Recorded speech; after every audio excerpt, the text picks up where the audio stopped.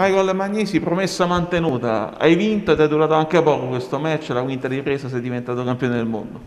Eh sì, alla quinta ripresa con eh, un bel gancio destro abbiamo, siamo riusciti a concludere il match. Come anche dichiarato nell'intervista, era una cosa che hai già provato sin da quando hai saputo che avresti combattuto con Kiri Kamazzi, per cui è stato il colpo decisivo per vincere questo incontro. Com'è nata proprio l'idea sul momento di, di, fare questo, di, fare questo, gancio destro?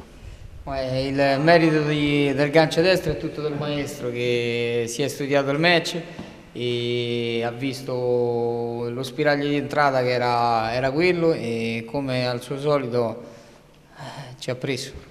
Adesso speriamo di unificare queste, queste cinture? Eh sì, adesso, adesso un po' di riposo. Sì. Poi aspettiamo le prossime proposte, vediamo cosa ci propongono e valutiamo. Hai ricevuto tantissimi messaggi per questa vittoria, qual è il messaggio più bello che ti è arrivato? Non voglio sapere di chi è, però voglio sapere il messaggio più bello che ti è arrivato. Guarda, ce n'è uno in particolare che mi ha proprio chiamato e mi ha detto che ha visto una molta maturazione a livello pugilistico, un un, un, ragionamento un po' più lucido sul ring, quindi quella telefonata lì mi ha fatto molto piacere. Ho visto anche il documentario molto bello su di te, hai detto che in tanti si sono fatti sentire in questi anni con i tuoi successi che magari prima non si facevano sentire, è stato così anche questa volta? Sì, sì, sì, sì. ci sono persone che mi hanno mandato messaggi che neanche ricordavo di avere il numero o ricordavo che potessero avere il mio numero o che addirittura mi hanno aggiunto su Facebook ultimamente, quindi vabbè, ci sta. Mario Massai, maestro, l'abbiamo sentita poco durante il match, quindi significa che è andato tutto bene, che Michael ha rispettato le direttive da parte del maestro? Sì, ehm, forse per la prima volta è stato veramente molto lucido e, e, e ha fatto al momento giusto quello che, che ci eravamo programmati quando veniva all'angolo era perfetto, ragionava benissimo in tutte le riprese che ha portato fino alla quarta ripresa, è stato lucidissimo, non ha avuto bisogno di molti consigli perché eh, sapevamo già che dovevamo andare avanti e mettere, spingere il piede sull'acceleratore da dopo il quarto round.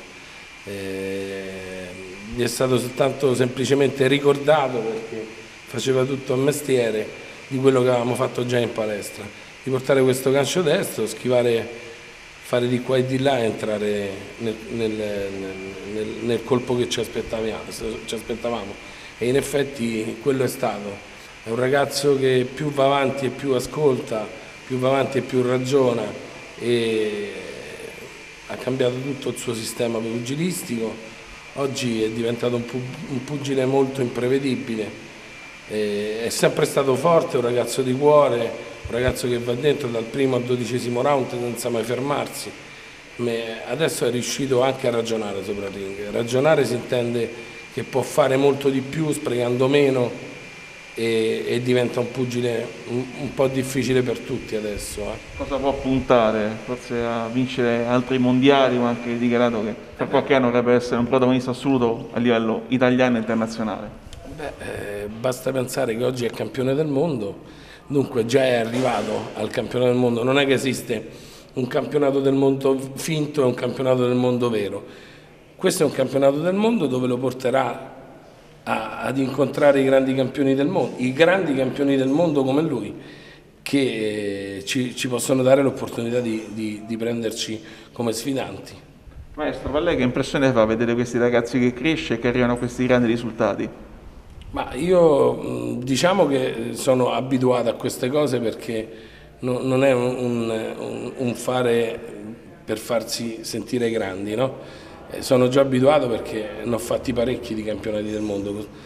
La, la, la, mia unica cosa è che comunque io già sapevo che arrivavamo, perché già con Chicca, la moglie di, di Michael, chi, io la chiamo Chicca, Alessandra Branco, eh, se eravamo detti più di una volta, ci eravamo detti più di una volta che eh, l'avremmo portato là, dove siamo arrivati adesso. Mike è un ragazzo che merita, è un ragazzo che si allena, un ragazzo che costruisce giorno per giorno il suo programma di allenamento, è un ragazzo che se gli dici Eh, è, inutile che continui a dire un ragazzo, è un professionista adesso. È campione del mondo. Adesso è un professionista ed è un campione del mondo.